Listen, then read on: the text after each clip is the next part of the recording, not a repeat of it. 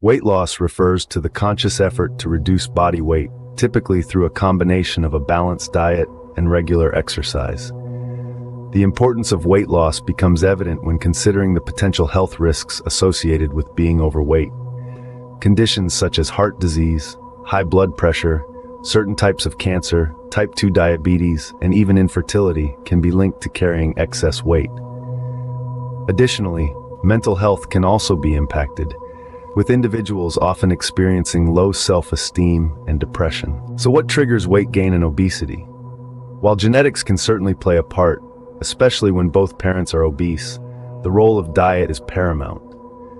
Processed foods, laden with refined ingredients and addictive additives, are often the culprits.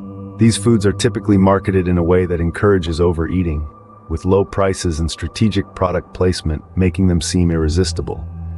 Furthermore, foods high in sugar can alter the body's hormones and biochemistry when consumed in excess, leading to cravings, overeating, and ultimately weight gain.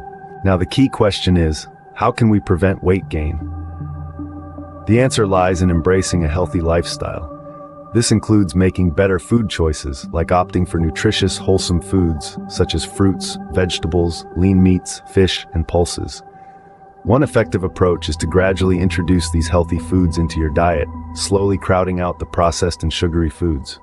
Coupled with this, regular physical activity can help burn calories and potentially lead to weight loss.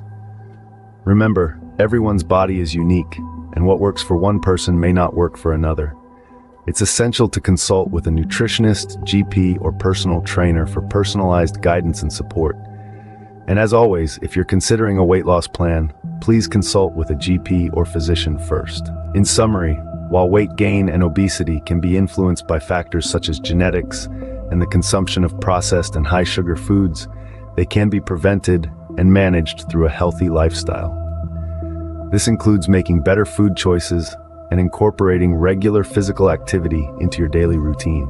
And remember, always seek professional advice before embarking on a weight loss journey. It's your health. Take control of it.